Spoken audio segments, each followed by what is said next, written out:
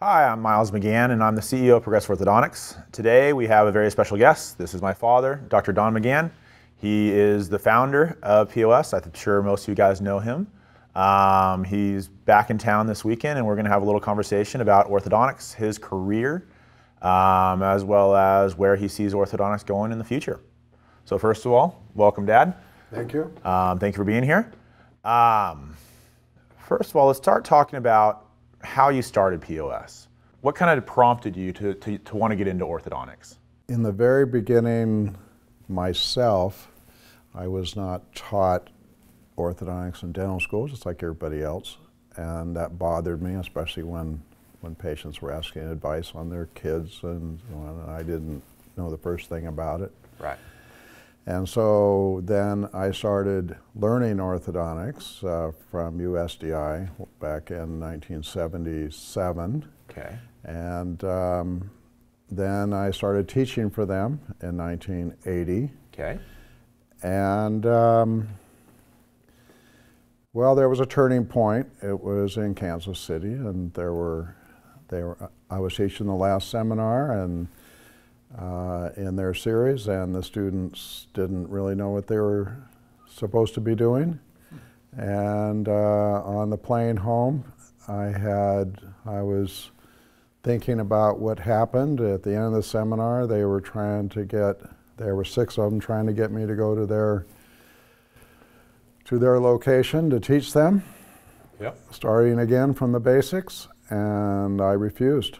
Yeah. I had too much going on, two practices. So at that moment, I decided, okay, I'm going to take on the challenge to make a curriculum to teach these six and who knows who.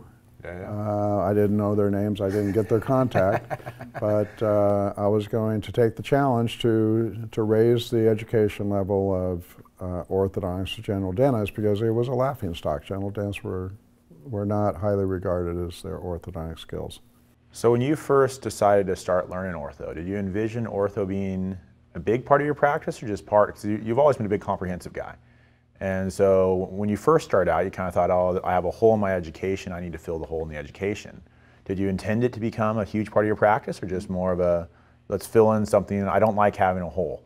I just don't like having a hole. I know And you I enjoyed all of the aspects of dentistry, and uh, I don't know. I'm not sure I really would have enjoyed being a specialist only doing anything. Right. And um, so the comprehensive part kept my interest, I think. And orthodontics was, of course, um, it just fits into everything that you're doing in dentistry, and it just 100%. it just it just spread throughout my practice to where I wanted to focus on that.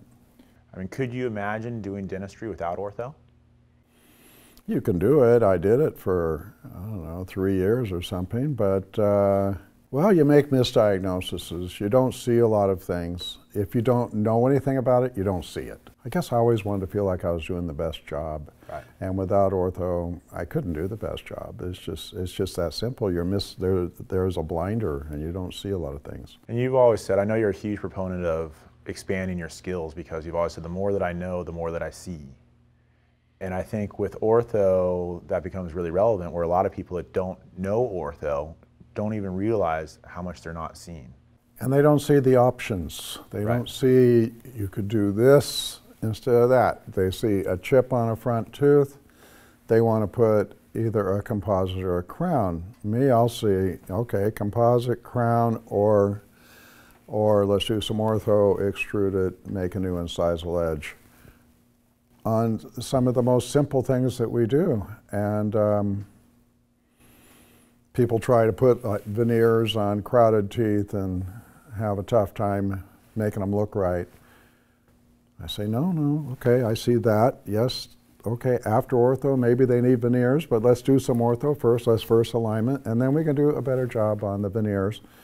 And you'll have a happier, happier patient, happier dentist. And it'll last longer. And it'll, it'll you're not having to compromise all the time. Right. So ortho being a primary part of your practice because you look at it as a foundation of everything. Did you realize when you first started ortho how many patients you had that needed ortho? Oh, no. Because no. I, I hear that all the time of these students go, well, I, I think I want to learn ortho, but I don't know if I really have the patience. And I think one of the things that I've learned over the years is, you know, once people start, get a basic understanding of what orthodontics is, and all of a sudden they see ortho everywhere in their practice. Was that the same with you in your practice? I know it's a long time ago, but. oh, I can remember that well because I had uh, I had like two practices. One of them was a very mature practice. I had bought it from uh, a retiring dentist, Dr. Perry Davis, and uh, he didn't accept any children, and so and that adult practice turned into a bigger ortho practice than than the other one that had the kids in Laguna Niguel. Right. And so, uh, who would ever guess? And so, I, I had probably at least half of my ortho patients were adults. Right. And um, uh, in those days, adult ortho was just barely starting. Right. And um, it was everywhere. Right. So really, uh, anybody that says they don't have ortho in their practice just doesn't know what they're looking at. They don't see it. It's right there in front of their face, but they don't see it. They haven't been trained to even see it. In your mind, almost every patient that walked through your door. I remember one time you told me, in my practice, 99.9% of patients need ortho. Now, I'm not going to do ortho on all of them, but everybody needs it at some level. At some level, at some level, they would like it. Right. even the ones with straight teeth, they, if you ask them, they say, no, they aren't. You know, I'd like this, I'd like that. I, and you go, well, there's, that could be done, but um, you, you know, you don't have the typical case that people think of that you need orthodontics. But as soon as you start saying, well, I can fix changeable splay, well, I can fix this, I can fix that, I can widen the buccal corridors, I can, you know, there's just